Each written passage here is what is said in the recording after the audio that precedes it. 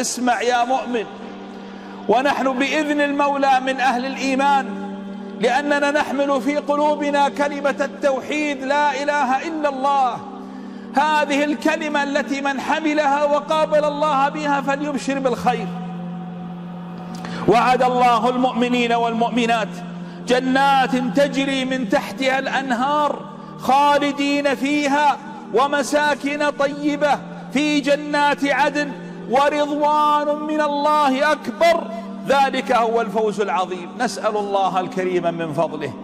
إنها الجنة دار المتقين ورحمة الله للعالمين كرامة من رب رحيم دار الخلود والبقاء ودار السعادة والنقاء.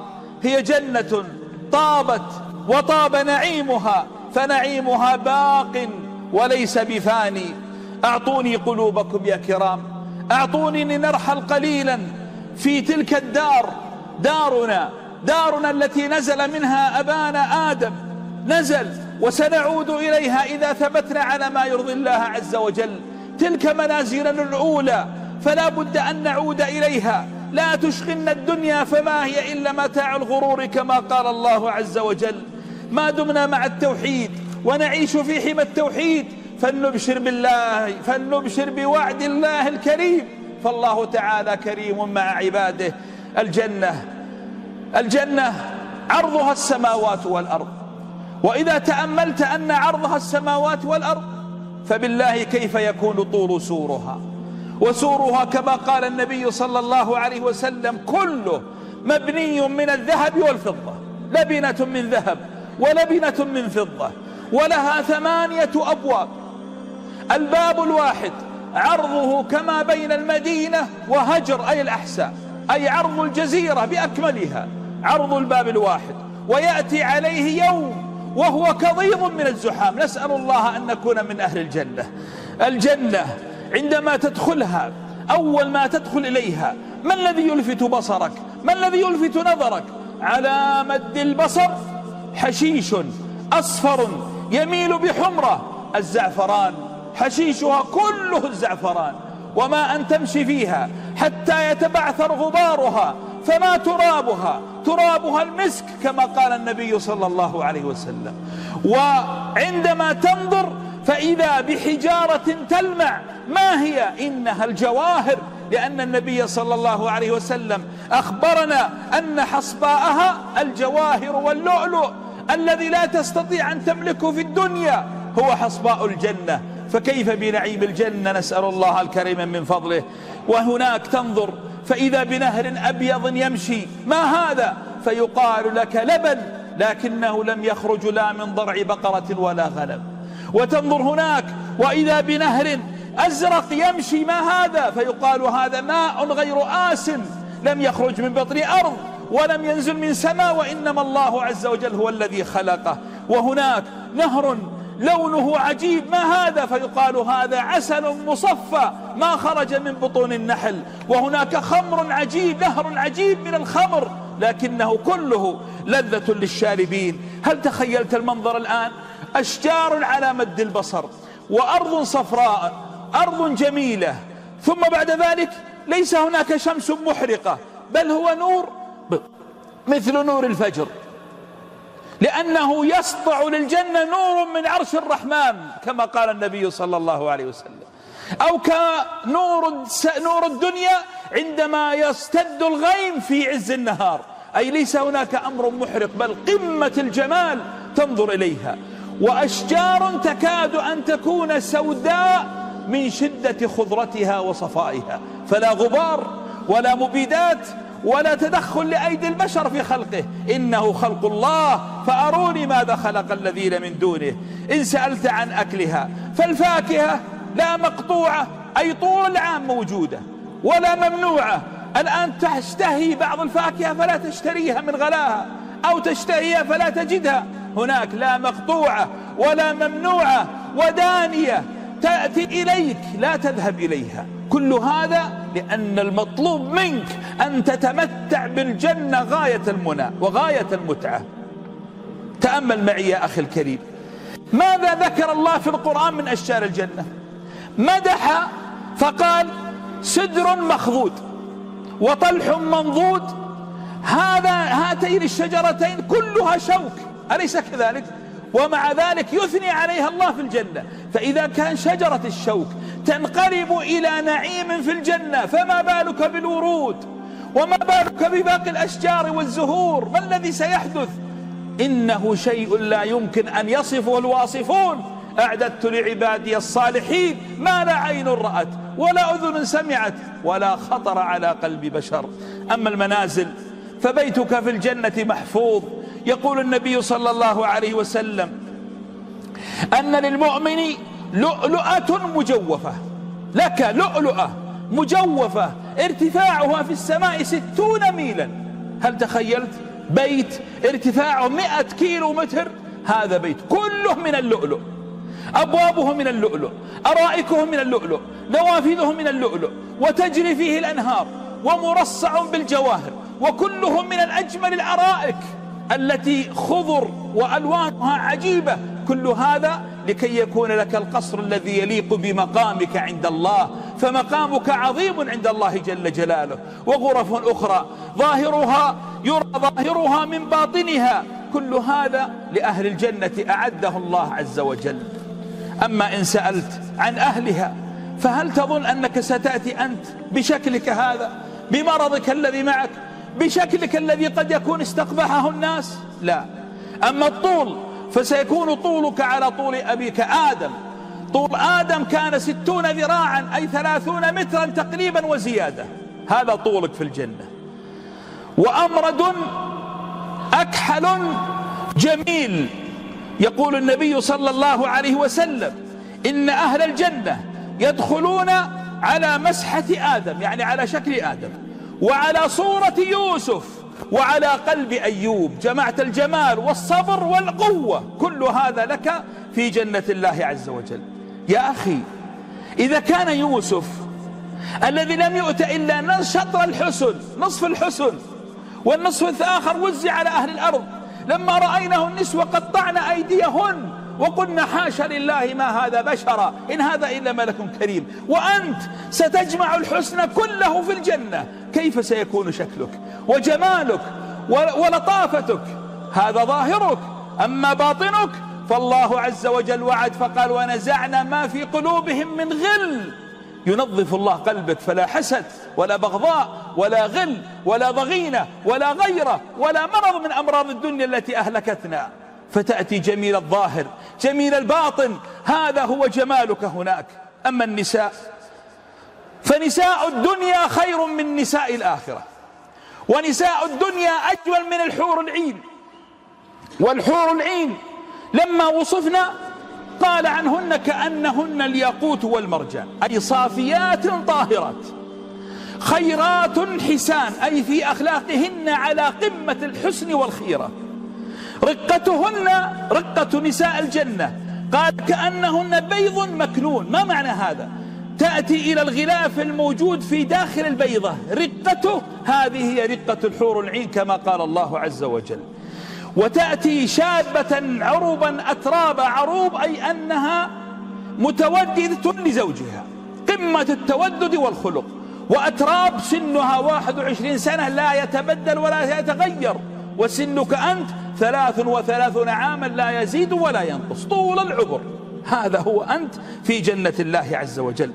أما خمارها لما وصف الرسول صلى الله عليه وسلم الحور فقال أن خمارها الذي على رأسها لو مرت به على السماء الدنيا لملأت ما بين السماء والأرض ريحا طيبة. الله أكبر. ولو اطلعت بوجهها لحجبت نور الشمس. كل هذا الجمال. لا يعادل جمال زوجتك في جنة الله. الجنة للنساء هن متاع جميل لهن. فلا تظن المرأة أن الخير فقط للرجال دون النساء. لكن كثر ذكر النساء للرجال لأنه من طبيعة النساء الحياء. والرجل يريد من المرأة غير ما تريده المرأة من الرجل.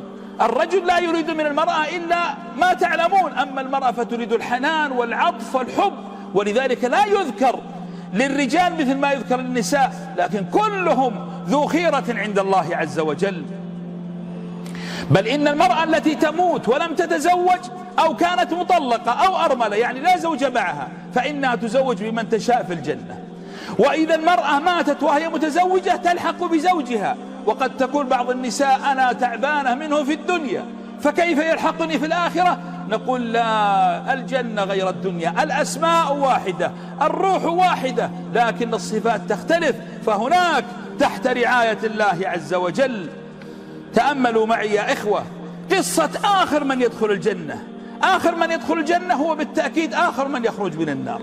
يخرج من النار فيرى شجرة فيرجو من الله يقول يا رب أجلس تحتها في ظلها فيجلسه الله. ثم إذا جلس فترة من الزمن يرى شجرة أجمل منها. يا رب قدمني إلى تلك الشجرة. فيقول له الله عز وجل إن قدمتك ما تسألني غيرها. فيقول لا أسألك غيرها. فيقدمه الله عز وجل لأنه يرى منه ما لا صبر له عليه. ثم بعد ذلك يريه الله شجرة أجمل منها. فيقول يا رب قدمني إلى تلك الشجرة. فيقول الله له أما عاهدتني ألا تسألني غير تلك الشجرة؟ يقول قدمني ولا أسألك غيرها. فإذا قدمه يسمع أصوات الجنة ويشم رائحة الجنة لأن رائحتها تشم من مسيرة أربعين سنة. أربعين سنة. كم يمشي الإنسان أربعين سنة؟ كل هذا رائحة عبق الجنة وريحها وبخورها ووردها وجمالها. فعند ذلك يأتي على أطراف باب الجنة فيقول يا رب أدخلني الجنة.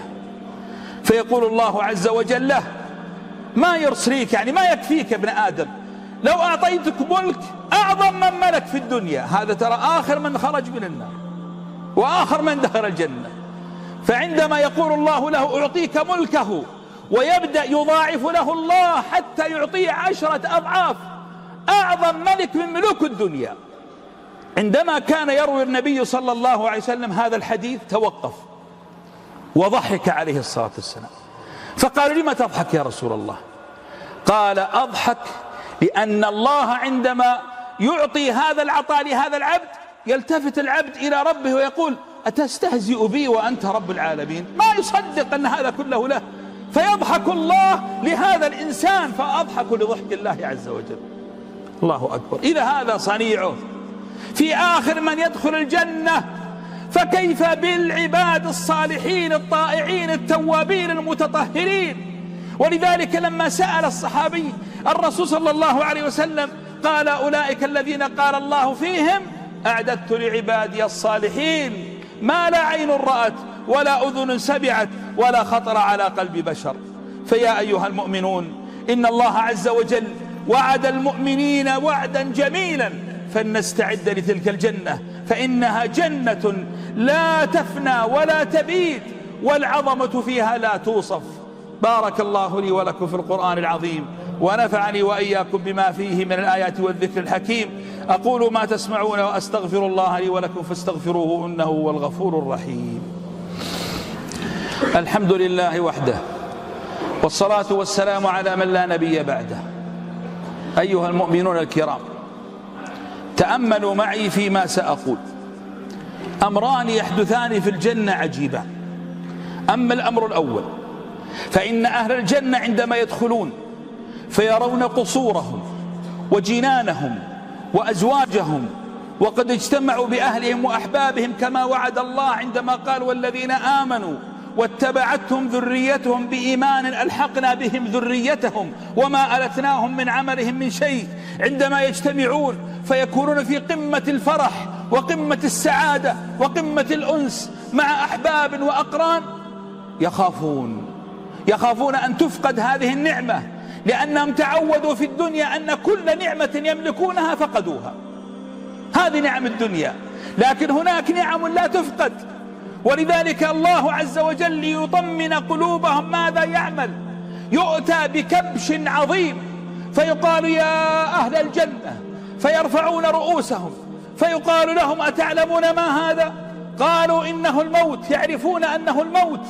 نعم هذا الموت عرفناه أتي عليه بصورة كبش فيذبح الموت ثم يقال لهم خلود فلا موت ونعيمكم لا ينفذ أبدا.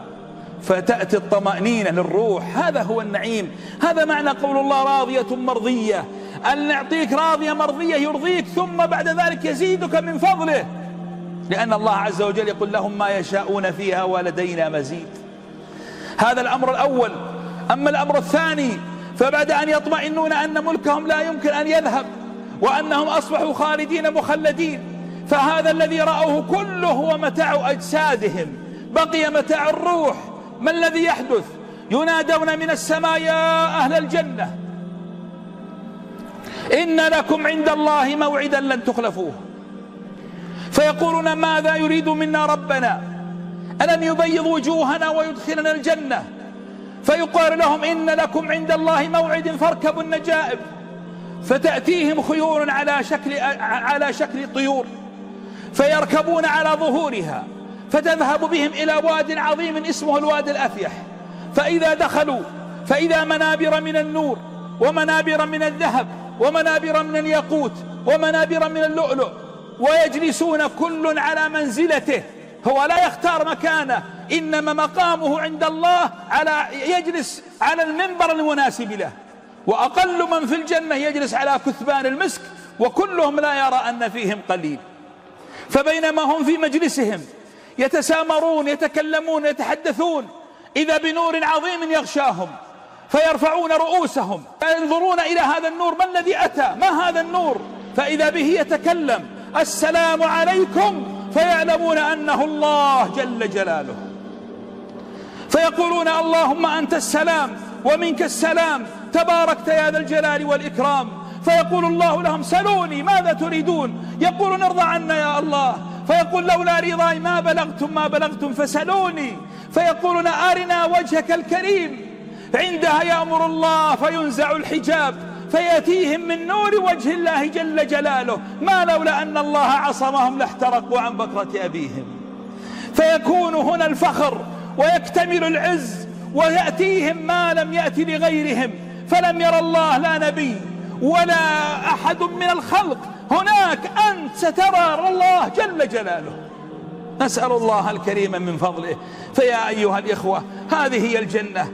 هذا شيء من وصف الجنة. وإلا لو جلسنا الليل كله والنهار كله لما استطعنا أن نصفها. ما الطريق إليها؟ الطريق إليها سهل. الطريق إليها أن تكون قريب من الله فقط. أن لا تجعل الله يغضب عليك. لا تقطع الصلة التي بينك وبين الله. الله يحبك تصلي بين يديه فلا تقطع الصلاة. الله يحب التوابين. الله يحب المتطهرين. الله يحب العفو. الله يحب الذين يذكرونه. الله يحب الذين يشكرونه. الله يحب الذين يتركون الذنب من أجله. فاجتهد على نفسك يا أخي. اجتهد على نفسك. لا تغرنك الدنيا. لا تبع حور الجنة من أجل من أجل نساء الدنيا بالحرام.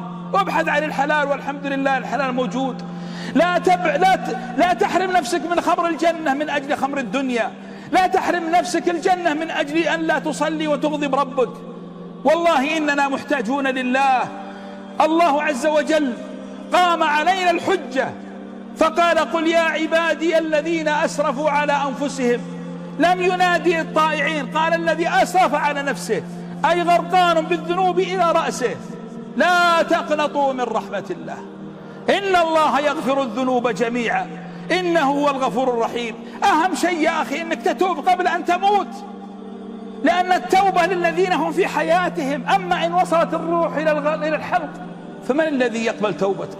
فإخواني أوصيكم ونفسي أن نتقي الله عز وجل وأن لا نبتعد عنه وأن نقترب منه. فلا حول ولا قوة لنا إلا بالله. اللهم يا ذا الجود والإكرام والإعلام أسألك باسمك الأعظم يا حي يا قيوم. إن كان من بيننا أو أحد يسمعنا ويرانا مقصر في الصلاة اللهم اشرح صدره واهدي قلبه يا رب العالمين. ورده يا رب إليك ردا جميلا. اللهم إن كان من بيننا أو من أحبابنا أحد يا ربي متعلق بذنب من الذنوب اللهم افتح على قلبه ونور بصيرته. ورده إليك ردا جميلا. اللهم يا ذا الجود والإكرام والإنعام.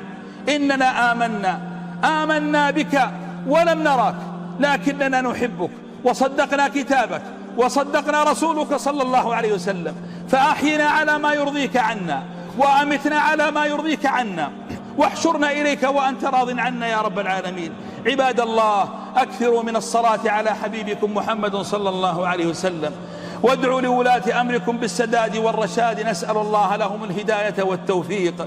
اللهم إنا نسألك لولاة أمرنا الهداية والرشاد والسداد وأن تدلهم على الخير وتعينهم على فعله وتريهم الباطل وتعينهم على تركه. ومن أراد بنا خيرا فأعنه وسدده ومن أراد بنا شرا فاكفنا شره يا حي يا قيوم. اذكروا الله العظيم الجليل يذكركم واشكروه على نعم يزدكم ولذكر الله أكبر.